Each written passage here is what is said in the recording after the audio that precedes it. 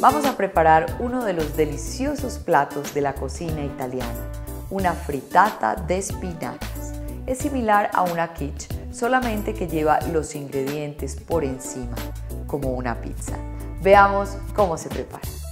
Una taza de queso ricota, 3 cuartos taza de queso parmesano, 2 tercios de taza de champiñones frescos y cortados, 300 gramos de espinaca fresca y picada, un huevo, media cucharadita de orégano, un cuarto de cucharadita de sal, un cuarto de cucharadita de pimienta y 24 rodajas de jamón ahumado o salami. Para empezar con las fritatas, primero necesitamos unos moldes de muffin.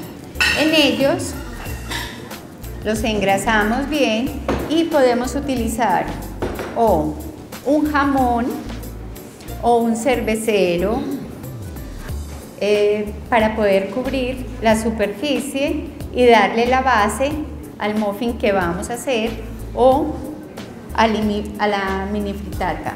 Si son de estos de silicona, no necesitamos engrasarlos. Entonces empezamos. Primero, una taza de queso ricota.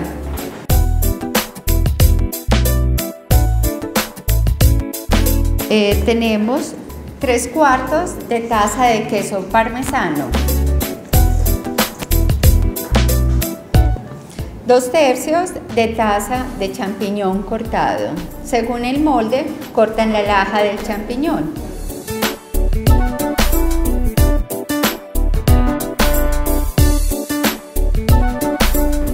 Tenemos la espinaca fresca. Para esto es una cucharadita de orégano fresco.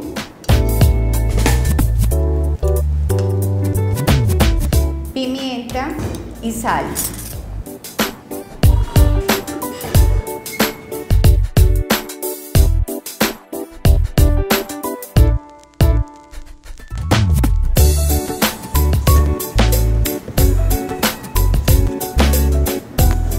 Vamos mezclando todos los ingredientes para que nos dé una mezcla homogénea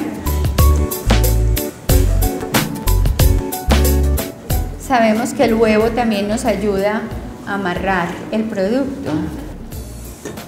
luego de que ya esté todo incorporado y la mezcla homogénea, vamos a empezar a rellenar cada uno de los moldecitos que tiene la base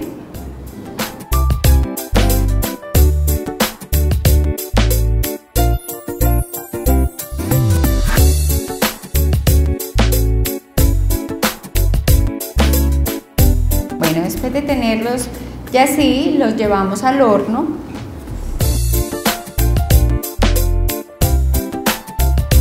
Para más deliciosas recetas de la cocina italiana, visita mi página patriciaveles.com.